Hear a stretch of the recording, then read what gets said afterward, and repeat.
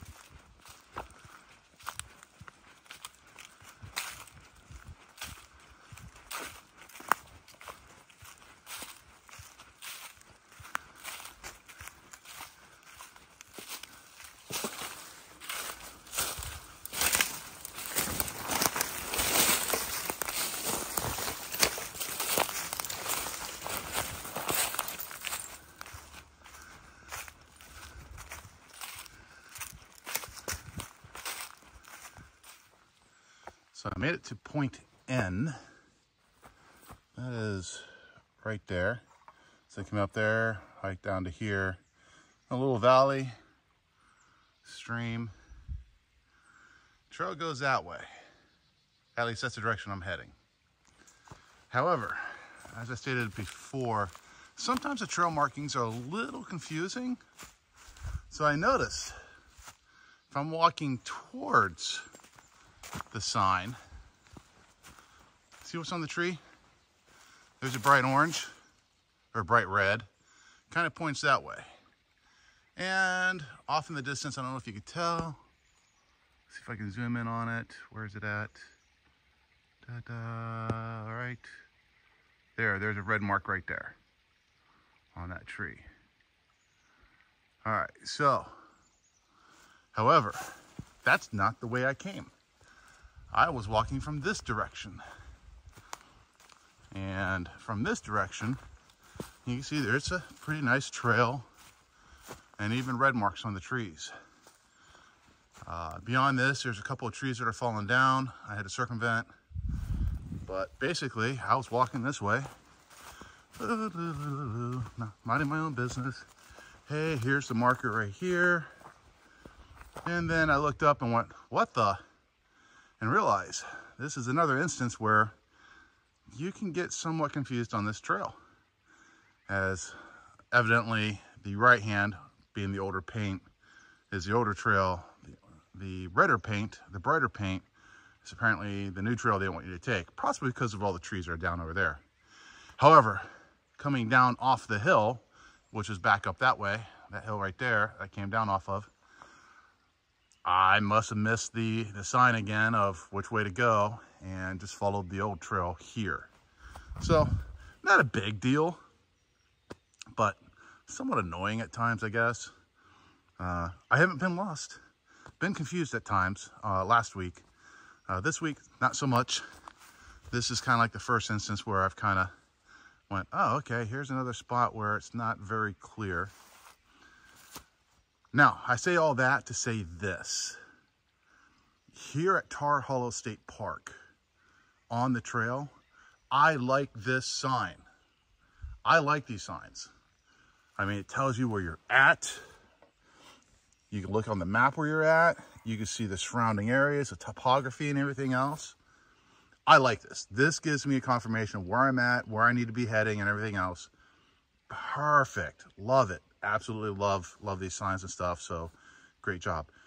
I personally have been hiking the Zaleski Backpack Trail for like 30 plus years. And I love that trail. And I still do. You know one thing they don't have? These signs. I know the trail almost by heart. It is, I would say, uh, better managed in the way of trail markings and being clear in what direction you, you need to go. There are some still spots on that trail that are a little, eh, kind of iffy. But over and all, after 30 years of hiking that trail, I gotta say it's, it's uh, the markings are a lot more clear. There's more of them, uh, less chance of getting confused, like in this type of area, in this type of scenario. However, what they don't have are these signs. And I think it would be a nice addition for the Zaleski Backpack Trail to possibly uh, implement uh, these these type of signs at the, the major markers so that people understand where they're at on the trail and how far they got to go. That's just my two cents. So anyways, just a little bit of a confusing spot here, which way to go. Of course, I came in that direction, walking the opposite direction, but I love the signs. I did strip off my mid layer. I got warmed up a little bit and we're only what is it, uh, 1.1 miles into this of 10. So let's get back to it. Found this little white cross on the trail as I was hiking along. And I'm not seeing anything that would indicate what it marks or what it means other than it's just a white cross by a tree. Thought I would share let's get back to it. Well, made it to O right there. Looks like we got about 1.7 mile hike uphill, ridge line, down and up again, down and up to Q. And then at Q, if I just want to do the southern loop, I just go to R. However, that lower loop I told you about, it's called the uh, Doolin uh, loop. Anyways, it's about a two mile loop. That's what we're gonna be taking today. And we've traveled all the way down to there. Not too bad, actually. Uh, started at elevation, hiked down. It's been mostly flat. One or two little ups, and that's about it. So I think this is where we're gonna start putting in the work about going some significant up, which I don't mind. It's the downs that my knees have issues with. Anyways, taking a small break here before starting the 1.7 mile hike, probably up that hill right there. But it is a gorgeous day. I'll check within you. I'll check in with you later. Blah, if I can speak. That was a tough climb. I ain't gonna lie. I had to take a couple breaks. That's the path I just came up. But I am rewarded this morning with a pretty decent view of the winter brown of Ohio, specifically Hocking Hills. And I need to go that way because there's some red marks out that way. All right, I'm gonna catch my breath, sip some, some water. And then I'm gonna sally forth. See you next checkpoint. All right, I made it to Q. So we've hiked all the way down over to here. Now we're going to attempt to hike down and then come back up. So if you can see this topographical map here, it looks like we're gonna hike down in this valley, kind of go alongside a hill here, come down here to S, kind of go around the hill and up the other side of the hill and hit this trail here. Now regarding this trail that I'm on, uh, it's been road ever since I made that steep climb. It's just been nothing but road. Looking at this map here going around this hill, that is the hill right there that we'll be going around. Now, I did find the path to start to the trail. It's further down that way. And it goes down into that valley right there. It is not well marked. The, uh, the markings I did find are very faded. So I'm gonna take my time and be cautious. Although the trail seems to be uh, cleared, it is a, there is a trail. So we'll see. I'm gonna attempt it. It's only a two mile bypass. If uh, things don't look good, I'll just hike north because I'm facing south right now, but I'll hike north and just come right back up to this road. And I'm back on the trail. All right, well, I'm gonna grab uh, a snack to heat, eat, eat, a snack to eat, and uh, yeah, go explore. All right, made it down to S. It wasn't that bad. Once you got onto the trail, it was a, it was a well-marked-ish trail. Uh, the trail actually was fairly clear and easy to follow and stuff from Q to S. And a little bit of a surprise. S is actually like a little bit of a cleared park of sorts. not sure exactly how you get to this from the road, but there is an outhouse here, a couple of benches, one over there. Uh, there's a stone seat right there. Another bench back there. Uh, several good camping spots here. Maybe this is just a backpack camping spot. The one thing I did test, I saw this uh, this spigot here. I wanted to see if there was water. And survey says there's water. Now I don't know if that's potable or not. But hey, there's water. I do have a Sawyer straw filtration and right over there is a stream. Right there on the edge of the, the green and the brown, there is a stream. You can't really see it from here. So I can filter my own water. Anyways, just wanted to share that if you do take the Southern Loop and you want to overnight camp, this is not a bad spot to camp at. A lot of flat ground, a lot of good fallen wood for a campfire. Got an outhouse. If you don't have water filtration, you can take a chance on that. A couple of benches. Yeah, hiker approved. All right, I am going to top off of my water actually, and then I'm gonna hike up this way to get back up on the ridge line. So I got about a mile of uphill. Ugh. All right, I'll see you on top of the hill. Hey, I'm back. So just real quick, I was to do this video anyways when I took a lunch break, but I'm to do it now regarding my water bottles and this spigot here. Anyways, I started the day off with two 700 milliliter bottles. Now, obviously I bought them, I already drank the water, stuff like this. Before I start every hike, I clean these bottles out, uh, soap water thoroughly, and then I start with uh, my own filtered water from my house. And that's how I start each hike that I do here in Hocking Hills. Now, when I'm on the trail and I have to start filtering water, if you notice, there's two different color caps. One's green, one's white. Well, the green one, well, green is for go. Green is for good. So that is the filtered water. So you can see that's actually clearer. Both bottles are full of water. The green one is clear this one here, not so clear. In fact, this one here with the white cap, I just filled from this. And looking at it, looking really close at it, it's not gonna pick up on the camera, but there is, you know, some sediment in there and, and uh, maybe some other things.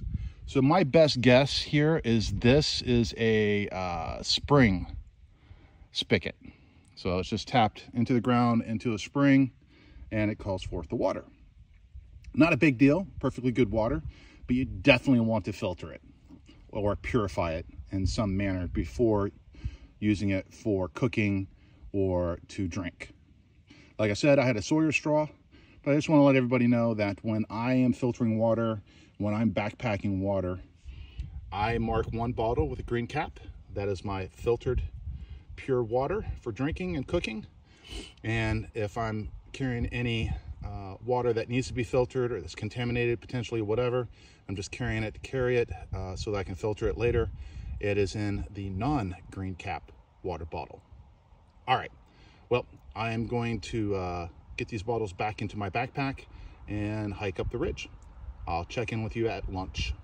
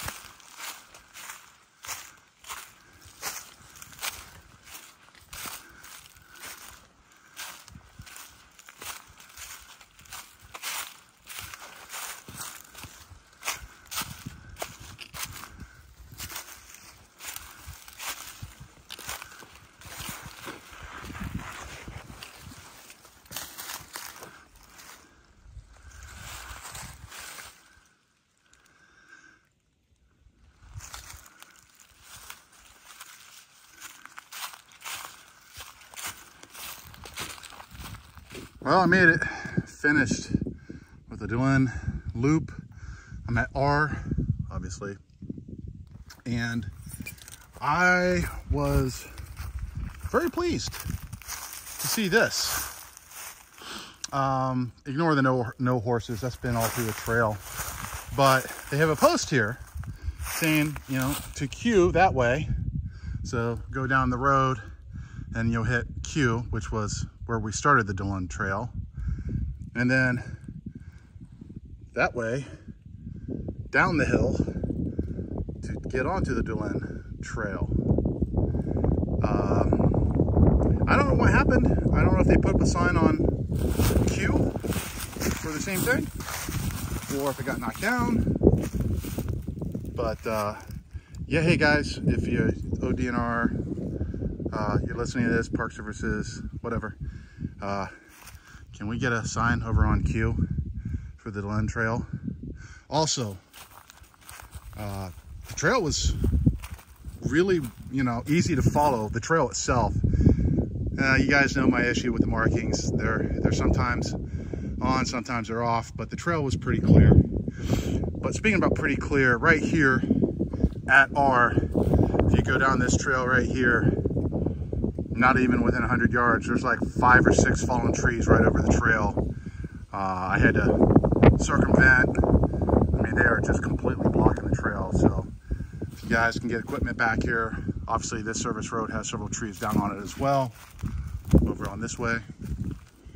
But uh, yeah, other than that, the DeLynn Trail was easy.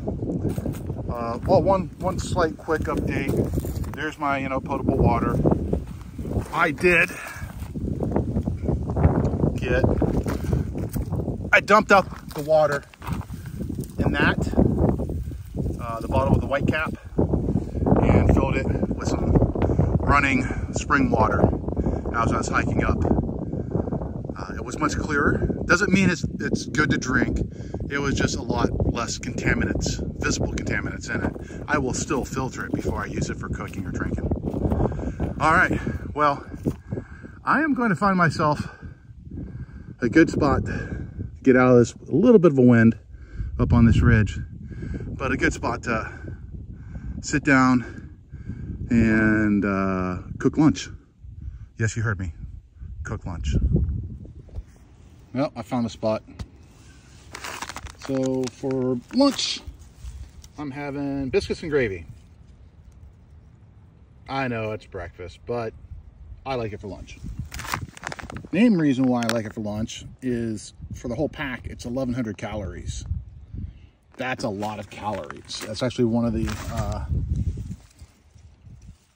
I think it's the most of all the uh, dehydrated, freeze-dried meals that I've seen so far.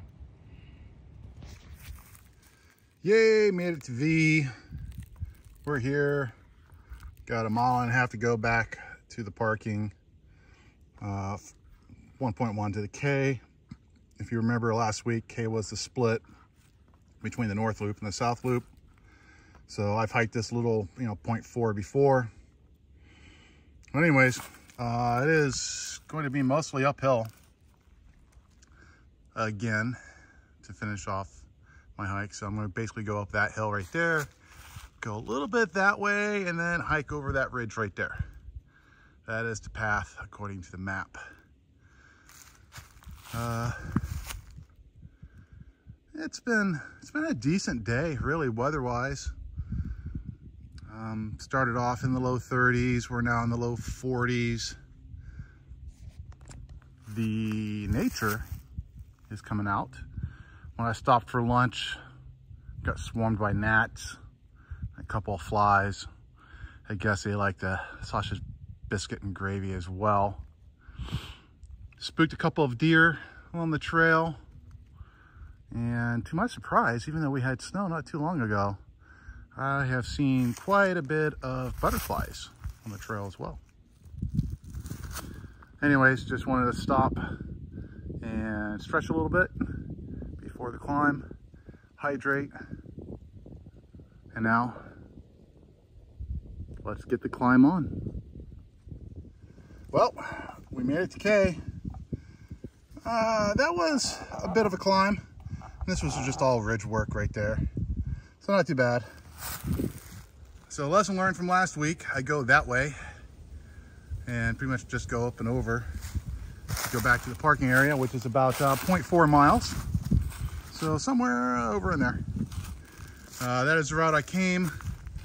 And last week, the route I went is right there. So I just drank the last of my water. I'm 0.4 miles away from my car. I got another drink at the car so I'm good to go, but it lightens my pack. But, uh, you know, I'm still carrying the water. It's in me. Yay. So, all right, let's get to the car.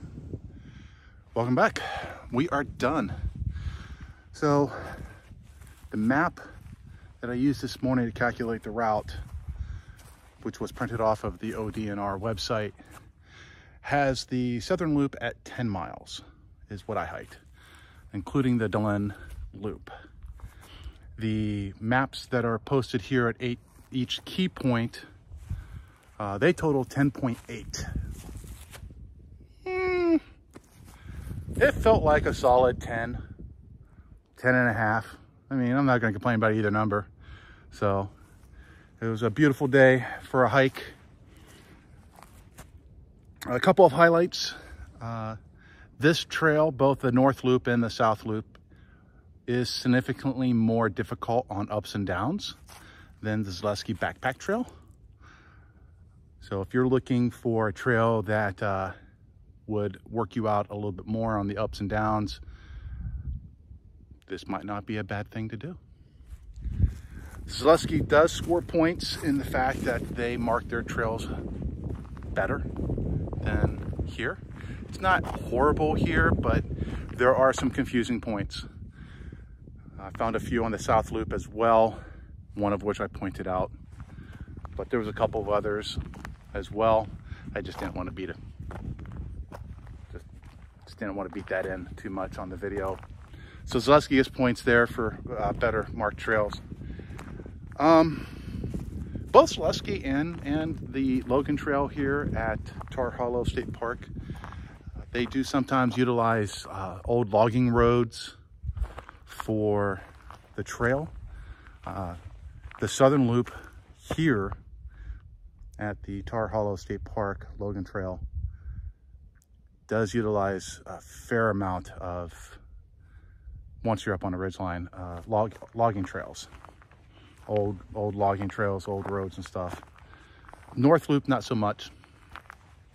I think there was like one little stretch on the North Loop uh, last week. Zaleski Backpack Trail does it in a couple of areas, but not, not to the extent that the Logan Trail does. So, uh, you know, pick your poison. It's still, you know, a beautiful hike, uh, a lot of scenery. The uh, plus here for the Logan Trail, both the North Loop and the South Loop, is you will be crossing a lot of streams. So there's plenty of water sources. So you don't have to carry a whole bunch of water. If you have like a Sawyer straw like I do, you can bring it and just, you know, camel back, uh, camel up, I guess is what it's, it, it's the term is basically drink a lot of water at the source once you filter it and then carry more water until the next water source, if you so desire. Uh, let's see here. Zaleski does have a couple water sources. Oh, I did check out the map. So earlier in the video, when we were down on the Delenn Trail and that spigot, that is a spring spigot or whatever, they do have that designated as a water source it's a little, it, it has, it has some, some, uh, some grit to it. uh, like I said, I dumped it out uh, once I crossed a fresh, fresh, clear stream and filled it up and filtered the fresh, clear stream. Doesn't mean it's better, but I'd much rather have, you know, fresh, clear water to filter than, you know, grit. All in all, I do like this trail. I, I really do like this trail down here. It is a good rugged trail. Uh, reminder, there is no sign up. There's no sign in. There's no kiosk booth to sign in and get a, you know, self-register for the trail. You just come out here and walk. Last note, they are logging part of the Southern Trail and that part of the trail is uh, closed say that, but they weren't logging. I'll leave it up to your imagination on if I detoured or not. I played a fifth. Anyways, uh, there is an easy way around. Uh, if you hike down to a road, you walk down the road, you get back on the trail. Or you can just turn around. I am not sure how long the logging is going to last there on the southern loop. I'm gonna walk back to the, the map here. I talked to the uh, parks guy last week and we even mentioned a little bit about the southern loop, but he made no mention of logging or part of the trail being closed. So I don't know if that was in, within the park services or the national services. Uh, so if you look at the map or pull up part of the map that I had on my video, the logging is uh, just south of marker U. So as I was hiking from T to U, part of the trail was closed off. And what you could do is you can just go straight down the hill and get on the road. And then you head west on the road and you'll get back on the trail because U is the marker where the trail crosses the road, crosses a road, that road. That is a way you can get around. However, they do not have an official bypass. They, they didn't mark a trail around where they're logging. I'm sorry, park maintenance. Yeah, it is what it is. Everybody's got to make money, including the parks. Anyways, I am out of here. It has been an eventful day for me. Uh, feel good. I really do. Less than two weeks before I fly out to Amicalola Falls to start my Appalachian Trail attempt going northbound. I hope everybody had a, a, a great day today. Uh, stay safe and I'll see you next time.